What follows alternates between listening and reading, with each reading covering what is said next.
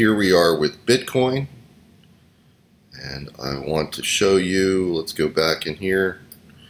Um, trading, again, I'm waiting for it to become more dynamic.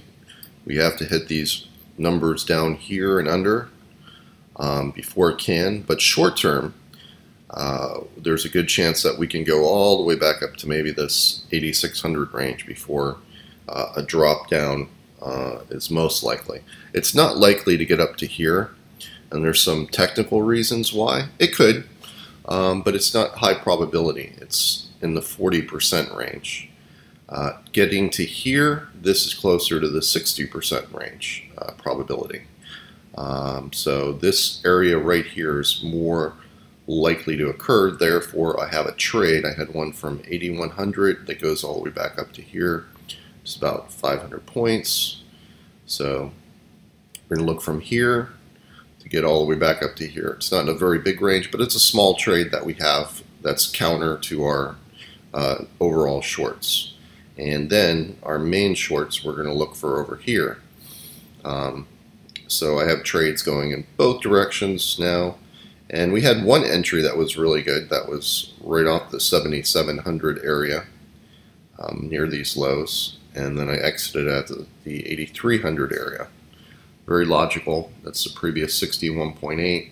It went down to the 123.6 on the extension. One, two, three, four, five, and boom. Uh, and then we have the inside range right there, which I think I've explained in the last video. The main one, two, this is what you base everything off of. And then you had ge geometry that extended further out. Now we're just meandering around. Go up and then break back down and then um, wait for the, you know, until we get down here, there's nothing to really do. This is the value area. Everything above here is just going to be sideways and resistance. Uh, it's not likely to make a move and to make a big run from these levels. Um, so that's what I'm looking for there. Uh, BNB. Uh, now that one, this was the counter trend trade that was to the upside, and it's made its move up to the 17 near 1760, 70 area. Uh, we're looking for it to get up to here short term. If this is just a short term trade, my exit point would be right in the six, the above 18 area, or just under the 1830s, and so we're somewhere in this area right here. Um, other than that, you know what I'm looking at longer term. If I want the longer term trade, I'm going to be looking for this to get all the way back up to 24. So you could play it, you know, both ways. Odds are it's likely to go back down to these levels here and even under. Um, so the exits in the 18 range make sense, and yeah, it looked like it was a good trade, and it's proving itself to be so. Uh, has good uh, volatility, and uh, we'll see what happens with it next. And that's basically it. There's uh, we're just waiting.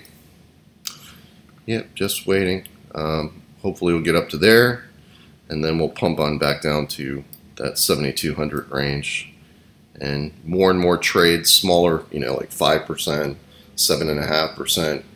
I'm going to go both ways, and I'm going to be closing trades out. And uh, once the frequency, we get to our dynamic levels, my frequency should increase, so profitability should start expanding. But that's up to the market. It's not up to me. I just follow what it tells me and go from there. Other than that, I hope you guys have a great week, and I'll update you for the next next happening that we have.